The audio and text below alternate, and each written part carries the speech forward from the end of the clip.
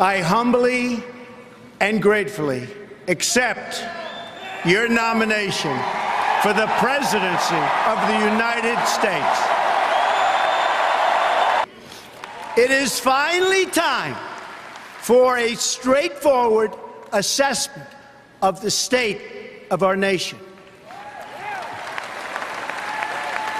I will present the facts plainly and honestly.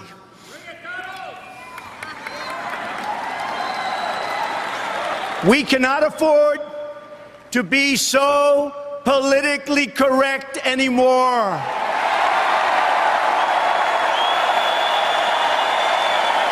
So if you want to hear the corporate spin, the carefully crafted lies, and the media myths, the Democrats are holding their convention next week. Go there. But here at our convention, there will be no lies. We will honor the American people with the truth and nothing else. Big business, elite media, and major donors are lining up behind the campaign of my opponent because they know she will keep our rigged system in place. They are throwing money at her because they have total control over every single thing she does. She is their puppet, and they pull the strings.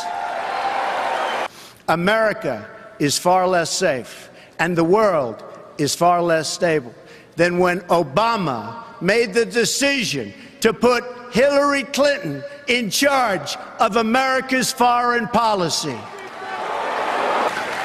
I am certain that it was a decision that President Obama truly regrets. Her bad instincts and her bad judgment, something pointed out by Bernie Sanders, are what caused so many of the disasters unfolding today. This is the legacy of Hillary Clinton death destruction, terrorism, and weakness. But Hillary Clinton's legacy does not have to be America's legacy.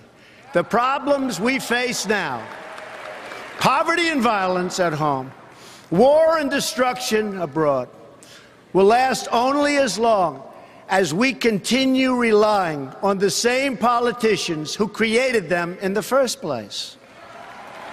A change in leadership is required to produce a change in outcomes. In this race for the White House, I am the law and order candidate.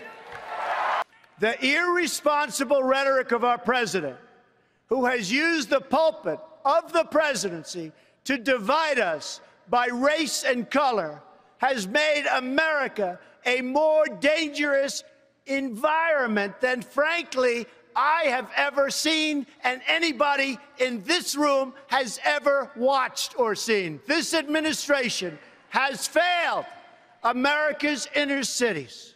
Remember, it has failed America's inner cities. It's failed them on education. It's failed them on jobs. It's failed them in crime. It's failed them in every way and on every single level.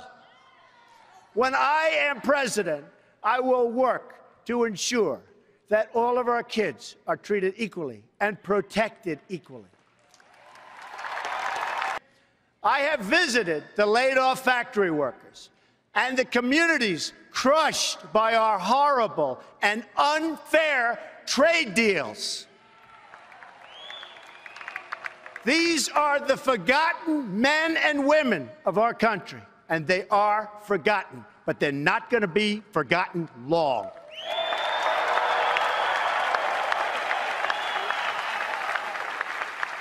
These are people who work hard but no longer have a voice.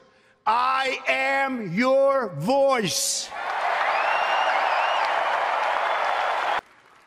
I have joined the political arena so that the powerful can no longer beat up on people who cannot defend themselves. Nobody knows the system better than me.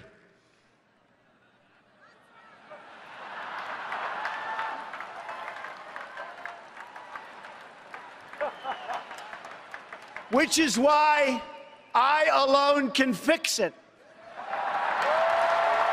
I have seen firsthand how the system is rigged against our citizens, just like it was rigged against Bernie Sanders. He never had a chance. Never had a chance. We are going to be considerate and compassionate to everyone.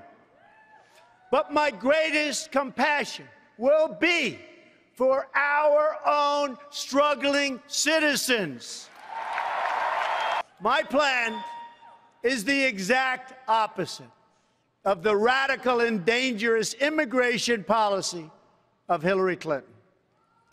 My opponent asks her supporters to recite a three word loyalty pledge.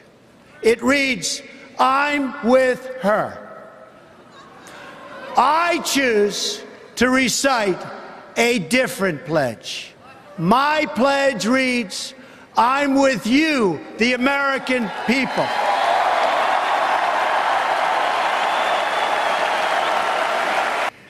We will make America strong again. We will make America proud again. We will make America safe again.